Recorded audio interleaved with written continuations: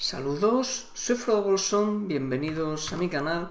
Continuamos con nuestro cazador de demonios incondicional de temporada, que ya aparece alguien con el conjunto completo. Y bueno, para quien no lo sepa o se una ahora, eh, los personajes incondicionales solo tienen una vida. Eh, si mueren no los puedes recuperar de ninguna forma, así que es bastante más trabajoso equiparlos y llegar a algún lado. Y el objetivo de, este capítulo va a ser intentar hacer una falla de nivel 33, una falla superior de nivel 33, para ver, eh, intentar eh, probar un poquito cuáles son las capacidades del personaje tal y como lo tengo. Lo considero muy bien equipado ya, solo tengo una pieza muy mediocre que es el amuleto, ¿vale? Fijaos que el amuleto, este es el mejor que me ha salido por desgracia. Tengo uno que si le busco el hueco y le vengo una gema legendaria, pues será un poquito mejor a cambio de perder la dureza, ese 12% de vida. Pero no me estoy calentando la cabeza en gastar materiales porque espero que en algún momento, ya Paragon 153, me salga un amuleto mejor que este, ¿vale? Ya tengo una muñequera de segador razonables, ¿vale? No son perfectas ni mucho menos, pero están muy bien tengo foco y sujeción, el foco algo mejor, la sujeción con algo de dureza, tampoco me molesta. Al final, en incondicional, si quieres ir cómodo y juegas sobre todo solo, tienes que sacrificar daño en algunos huecos para tener más dureza. Y bueno, los anillos no es el peor sitio en el que puedes hacerlo. Vale, las sombras están muy bien, ancestrales, los guantes están bien, no son perfectos tampoco, ni de lejos. El peto ya llevo el de disciplina máxima, ese que os comenté hace un par de capítulos, ¿vale? Sacrifico dureza a cambio de poder tener la 12 disciplina máxima, que me pone en 77, ¿vale? El peto, el casco muy bien, con esa gema de vida para subir la dureza todavía más, a 16 millones. Sin esa gema creo que estoy en 13 millones y medio, que para 33 está bien, no te van a matar de un golpe jamás, pero es más peligroso. Eh, cinturón este me está gustando bastante para superiores mientras no tenga uno mejor. Vale. De hecho estoy casi por seguir reforjándole y sacarle el 15% de vida. Con eso os digo todo sobre lo que me está gustando. El efecto ahora lo veréis, salta mucho y es útil. Eh, los pantalones no son ideales, querría uno con resistencia a todo, pero estos han salido resistencia física. Es lo que estoy buscando ahora por cada ala. Eh, las botas son aceptables, tiene todas las estadísticas que quiero y una secundaria que no está mal. El arma es la de siempre, ¿vale? Supongo que si me saliera un Ramalani podría, bueno, sacarle el 10% de daño y, y sería mejor, aunque no es que un sacacocos sea el mejor arma posible para esta build, es aceptable. Y bueno, el legado del muerte me ha salido uno nuevo que eh, con las estadísticas bastante bien, por desgracia la disciplina está al mínimo, son 9 disciplinas, el, margen para que multidisparo haga doble daño también está al mínimo a 50, eh, solo en esos dos aspectos era un 4,5% peor en daño que el legado que tenía anteriormente, pero dado que tiene más probabilidad de crítico, tiene 5% más velocidad de ataque y que he tenido la potra de que a la primera le he sacado 15% de disparo múltiple, aunque le buscaba cualquier cosa, tanto por ciento de vida, reducción de costes, cualquier cosa que no fuera daño de una skill que no uso. Vale. Y bueno, gemas, como veis, tengo ya el CIA 25, el destello a 25. Y me queda, estoy subiendo eh, los apresados, toda la build por 3, ¿vale? Eh, esta es la build que uso ahora que tengo esa gema, que he cambiado de depredador. ¿vale? Aquí tenía tenía antes eh, la de las orbes de vida, dado que ya tengo los brazales no lo veo tan necesario. Así que bueno, vamos a darle amor a 33. Creo que con esa dureza voy a ir bastante bien, porque daño tengo más que sobrado. Por daño podría hacer seguramente 40, no sé. No sé, posiblemente pueda hacer 40. ángeles. Ver con cuidado. Vale. Es la primera vez que, que me meto en esta dificultad. Así que...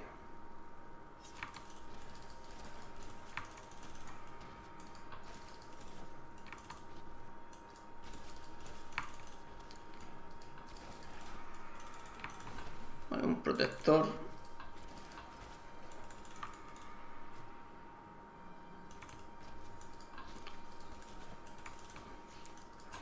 Lo de no ver ningún edite siempre me mosquea. Luego pienso que van a ir todos de golpe.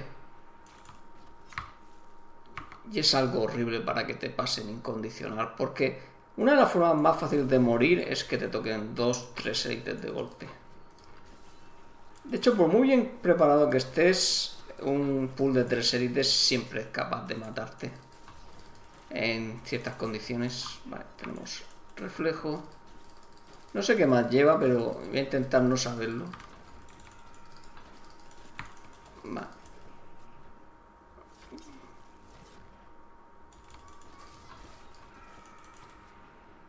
No me gustan estos pasantes porque no, no ves nada. Un pilón de poder, vale. Lo voy a coger. No voy a estar volviendo.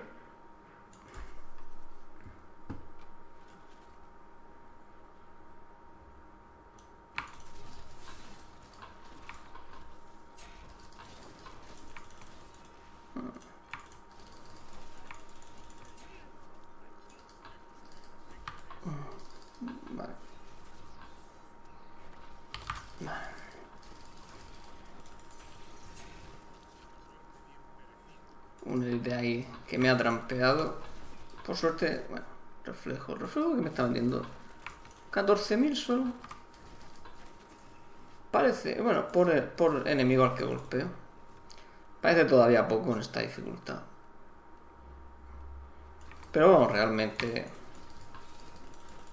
el daño sube, escala muy muy rápido conforme subes dificultades. Tengo una idea en algún lado, no sé lo que lleva. Acaba de pegar una leche de 128.000.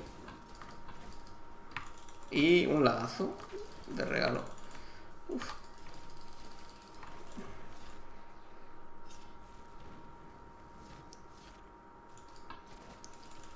No, 128.000 es daño muy asumible para mí. Eh, porque tengo mucha vida. No tengo mucha resistencia y armadura, por desgracia, que es mejor, pero a cambio tengo mucha vida que es lo que me infla la dureza. Velocidad, presión. Casi que quería que comerme una presión para ver cuánto daño me hacía. Pero no. Tampoco me voy a quedar a a ver si me meten la presión. Pero no he intentado hacer nada por evitarla. Con esta dureza no me debería matar tampoco una presión, ni una tormenta relámpago. La tormenta la tengo bastante calculada. Vale.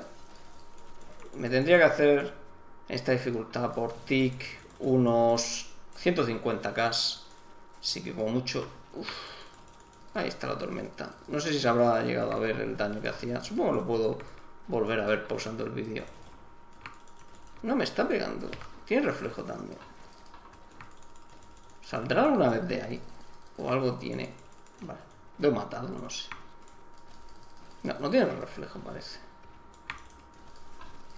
Me habrá dado con alguna otra skill.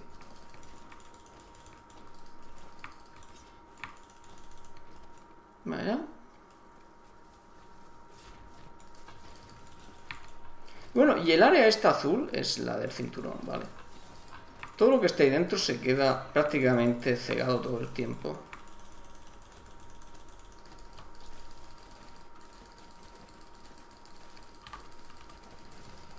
Este es uno de los bosses más difíciles. A ver si veo lo que me golpea con una carga. Por desgracia no lo ha dado tiempo. creo que voy sobrado, como veis, para esta dificultad. Vamos a mejorar gema. Eh, y es... Básicamente es todo lo que quería mostrar. Voy a hacer como el vídeo ha salido muy cortito, voy a hacer otra más. Pero a una dificultad más fácil. Eh, porque no necesito hacer esta dificultad para, para mejorar la gema. Esta gema la tengo a nivel 6, quiero recordar. Eh, nivel 6 con hacer una 18 sobra, ¿no? Para tener el 100%. Eh, la cuota de presa siempre voy a guardar una. De hecho, tengo guardado ya aquí todo tipo de, cosas. Lo que voy a hacer es hacer una 25 por ahí, más o menos. Es lo que suelo hacer. Eh, y en esa dificultad le voy a poner la gema roja. Gema roja por encima de 30. Me la puedo quitar ahora mismo, tal vez. Fijaos el cambio de dureza, 13 millones y medio. Así que vamos, voy a coger un trial y voy a hacer una mejora más de piedra para que veáis el proceso que estoy siguiendo más o menos. En este caso, como digo, solo necesito una gema de 18 para tener el 100%, una falla de 18 porque la gema está 6. Son siempre 12 niveles más si quieres subirle 3 veces. 10 niveles más si solo quieres subir uno. Así que me sobraría una 18, pero hacer 18 es ridículo. Solo hacer lo que me salga por encima de iniciar 28. Lo primero.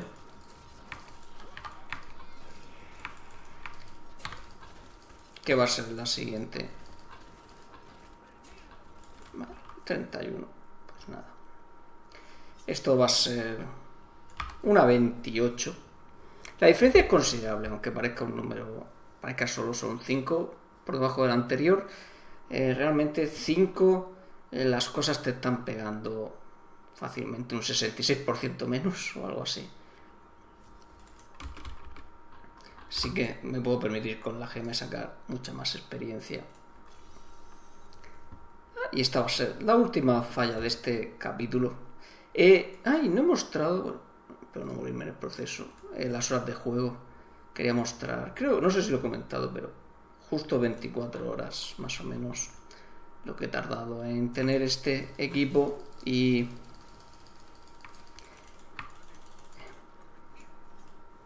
y bueno como veis seguramente mi límite estaría no sé tal 40 podría hacer con mucho cuidado seguramente no he calculado en qué en cuál me matarían pero debe andar por ahí no, me gusta cuando no ves nada al entrar. Aunque esta dificultad es muy difícil que me maten. Me podrían matar solo combinando muchos élites o que me hicieran un vórtice allí. Y ya tuviera la, pasiva gastada. Alguna cosa así. Con condiciones muy poco probables para morir.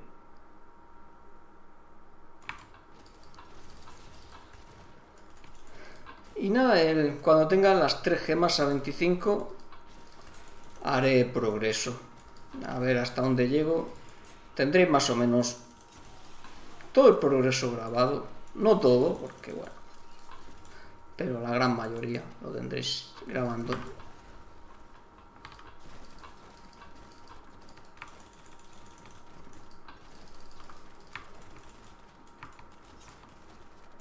Ya he terminado, ¿no? no me gustan los que tienen explosión con vórtice. Con el canalizador puedo ir tirando capa todo el tiempo. Hasta que la líe y me maten.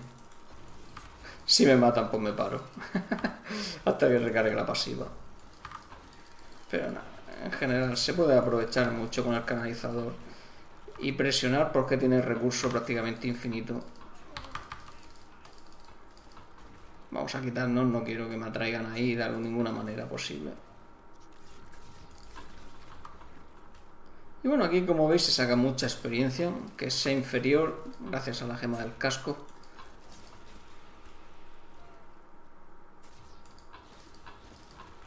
Me gusta cacarear ahí las gallinas, no sé si las veis de vez en cuando por el vídeo.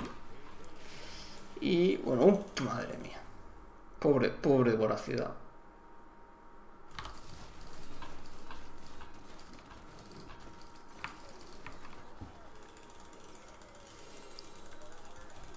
Y bueno, me acaba de salir una mazo de manos. Bueno, me está saliendo de todo. Bueno, mejorar gema, por supuesto, 100% en los tres intentos. Ah, la capa de Natalia, sí. Ya tengo las seis piezas de Natalia. También significa que tengo... Eh, llevo vitalidad ahora mismo puesto para el progreso, pero me lo podría quitar y volver a ponerme destreza. Simplemente me lo he puesto pensando que iba a ir con 13 millones y medio, luego no he, pensado, he pensado que me iba a quitar la gema. Así que eh, vamos a, ponerlo ya correctamente. Cuando haga progreso llevaré siempre la gema de vida en el casco. Así que no necesito un poquito más de vitalidad. Y bueno, 158 de Paragon y por fin el Natalia eh, podría ponérmelo completo, es muy malo por desgracia. Pero oye, es lo que hay. Vamos a guardarlo aquí con el resto de Natalias. Todavía me falta el, anillo y el arma. El arco este es malo, solo valdría si hubiera salido por puras estadísticas muy bueno. Y no ha sido así, no es ni siquiera ancestral. Y nada, esto es todo. Eh, no tengo, sí, tengo alquilas para gastar, así que va a ser el último paso de este capítulo. Capítulo número 13 ya, el de los gafes, por eso he hecho progreso. y estaba buscando unos pantalones porque quiero unos pantalones con eh, resistencia a todo. Otros Natalia, otros, madre mía. Cualquiera de esos dos verdes hubiera podido ser con facilidad el que quiero.